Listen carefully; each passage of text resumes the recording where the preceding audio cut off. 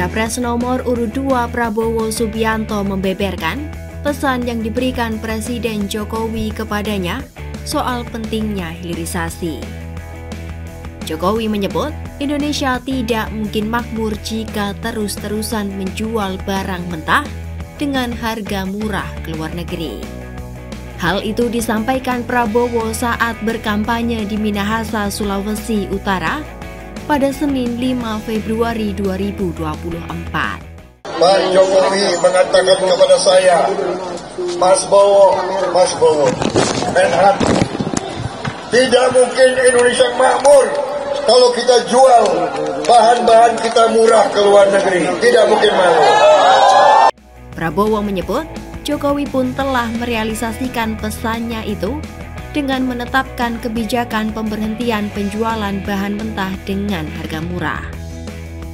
Sebab kekayaan alam Indonesia tidak bisa dinikmati rakyat bila dijual dengan cara seperti itu. Oleh karenanya, Prabowo berjanji akan menjaga kekayaan Indonesia bersama Gibran dan Koalisi Indonesia Maju.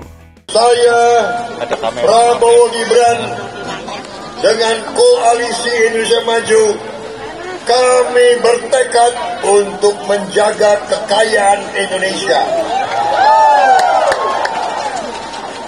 Dan tidak hanya menjaga kami ingin mengelola kami ingin mengurus kami ingin mengatur kekayaan itu supaya nilai tambahnya bisa dinikmati oleh seluruh rakyat Indonesia.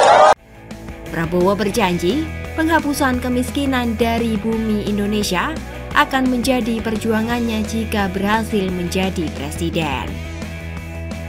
Dalam kampanye itu, Prabowo juga memohon restu dan dukungan di kampung halamannya agar mencoblos pasangan nomor urut 2 di Pilpres 2024.